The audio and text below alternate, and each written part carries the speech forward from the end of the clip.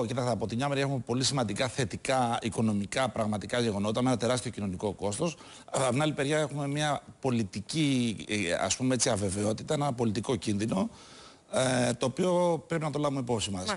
Αυτός ο πολιτικός κίνδυνος είναι, είναι συγκεκριμένος, δεν είναι δηλαδή κάτι αφηρημένο. Αν ξεπεράσουμε αυτό, το 2014 θα είναι μια πολύ καλή χρονιά για την ελληνική οικονομία. Για να πάμε και στην ε, νεολαία της παρέας εδώ στο τραπέζι, στον κύριο Κυρανάκη.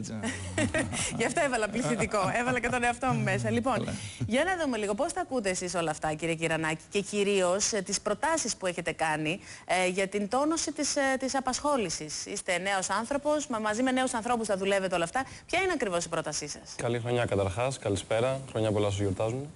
Ε, να εξηγήσουμε καταρχάς τι είμαστε. Η νεολαία του Ευρωπαϊκού Λαϊκού Κόμματος είναι η συμμαχία των κεντροδεξιών νεολαίων σε όλη την Ευρώπη. Είμαστε η μεγαλύτερη πολιτική οργάνωση. Ε, και αυτό που κάναμε είναι επικεντρωθήκαμε στους τελευταίους 6 μήνες στην ενεργεία των νέων. Στην ε, απασχόληση, που είναι το μεγαλύτερο πρόβλημα, δεν χρειάζεται να το διαπιστώσουμε για άλλη μια φορά. Και κάναμε ένα πακέτο τριών προτάσεων απλών.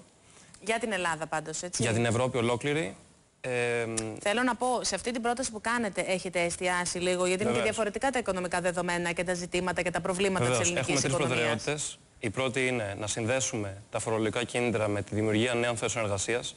Η δεύτερη είναι να εντάξουμε τις δεξιότητες στο πτυχίο της τριτοβάθμιας εκπαίδευσης. Και η τρίτη είναι να μηδενίσουμε τη γραφειοκρατία για τους νέους επιχειρηματίες.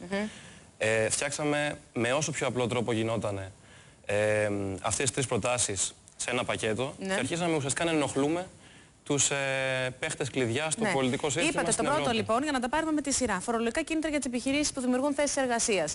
Δίνονται. Για να μιλήσουμε λίγο και αληθινά και ρεαλιστικά, κύριε Φίλιππα, στην ελληνική οικονομία, φορολογικά κίνητρα. Γιατί ξέρουμε, όλοι μας έχουμε ένα γνωστό που προσπάθησε να κάνει ε, ή προσπαθεί να επιβιώσει η επιχείρησή του και φορολογικά κίνητρα δεν έχει. Ναι, νομίζω ότι πρέπει είναι σωστή πρόταση ε, και νομίζω ότι η επιχειρηματικότητα, στα, να, να συμπληρώσω σε αυτό που είπε ο Κώστας, να, να, το θέμα της επιχειρηματικότητας, δηλαδή πρέπει να δοθούν σοβαρά και στις ξένες άμεσες επενδύσεις.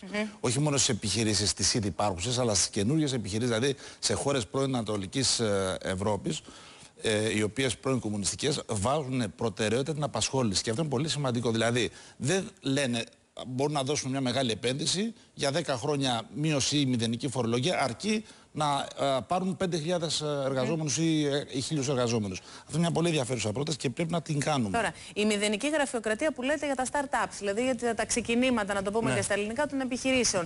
Θεωρείτε ότι είναι κάτι εφικτό στην ελληνική πραγματικότητα που δυστυχώς στη γραφειοκρατία δεν έχουμε κάνει ιδιαίτερα βήματα; Γραφειοκρατία θα υπάρχει όσο υπάρχουν άνθρωποι να τη δημιουργούν. Αντίδοτο είναι η ηλεκτρονική διακυβέρνηση και όλα τα υπόλοιπα είναι ημίμετρα. Τώρα να πούμε αρχικά ότι το 99% των επιχειρήσεων στην Ευρώπη είναι μικρομεσαίες επιχειρήσεις. 9 στις 10 είναι μικρές, ναι. με κάτω από 10 άτομα. Μάλιστα. Ε, όλες αυτές οι επιχειρήσεις δημιουργούν τα 2 τρίτα των ε, θέσεων εργασίας του ιδιωτικού τομέα. Αυτό σημαίνει ότι υπάρχει μια δυναμική ε, στις μικρές επιχειρήσεις, μικρομεσαίες, που δεν μπορούμε να παραβλέπουμε. Και τι σημαίνει ότι για μια, για μια επιχείρηση με λιγότερο από 10 άτομα, όταν πρέπει να περάσει μεγάλη γραφειοκρατία για να ιδρύσει την επιχείρηση, για την καθημερινότητά σου, από το ενίκιο, από το ηλεκτρικό ρεύμα, οτιδήποτε. Όλη η γραφειοκρατία μειώνει την παραγωγικότητα της εταιρείας. Δηλαδή από τα 10 άτομα, ένα-δύο άτομα πρέπει να ασχολούνται μόνο με αυτό. Θα κάνετε κάποια πιλωτική εφαρμογή. Εμείς τι προτείνουμε, να ενισχυθεί πάρα πολύ ο θεσμός των clusters. Θα επιμείνω ότι εδώ στην Ελλάδα ε, ο νέος θεσμός με το ΓΕΜΗ, το Γενικό Εμπορικό Μητρό, είναι ένα σωστό μέτρο, προς σωστή κατεύθυνση, αλλά πρέπει να εφαρμοστεί σωστά.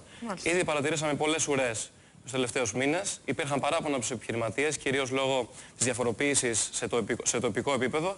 Αλλά αυτή είναι η σωστή κατεύθυνση, ότι ουσιαστικά ένας φορέας θα, ε, θα ασχολείται με τη γραφειοκρατία όλης της επιχείρησης. Για να τα δούμε λοιπόν και στην πράξη. Κύριε Κυρανάκη, σας ευχαριστούμε πάρα πολύ. Κύριε Φίλιππα, να σας ευχαριστήσουμε και εσάς ε, πολύ.